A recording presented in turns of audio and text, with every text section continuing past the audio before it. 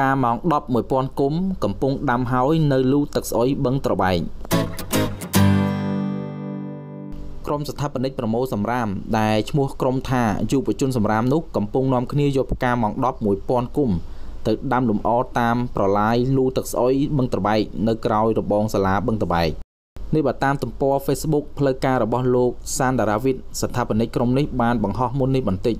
ទោះបីនេះគ្រាន់តែជារឿងសាមញ្ញមួយ តែយើងសាកគិតទៅមើលថាពីមុននៅទីនោះ មានតែសម្រាម តែឥឡូវមានផ្ការីកស្គុះស្គាយតើប្លែកប៉ុណ្ណាទៅថ្ងៃខាងមុខ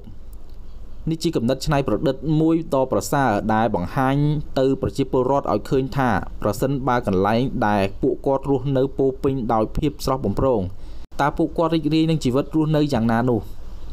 ប្រសិនបើពលរដ្ឋមួយចំនួន នៅតែរស់នៅជាមួយសម្រាមនោះជីវិតក៏មិនស្គាល់ភាពស្រស់ស្រាយដែរពលបើកភ្នែកមកឃើញតែសម្រាម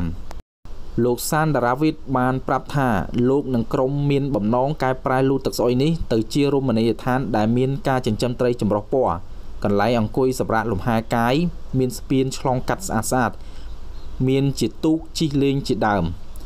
ក្តីសម័យរបស់យុវជននេះហាក់ចិត្តខ្លាចជាការពិតហើយក្រោយពីមានក្រុមហ៊ុនជប៉ុនមានបំណងវិនិយោគរយៈពេល3ឆ្នាំធ្វើការកែប្រែលូទឹកស្អុយនេះទៅជាកន្លែងចិញ្ចឹមត្រីស្អាត។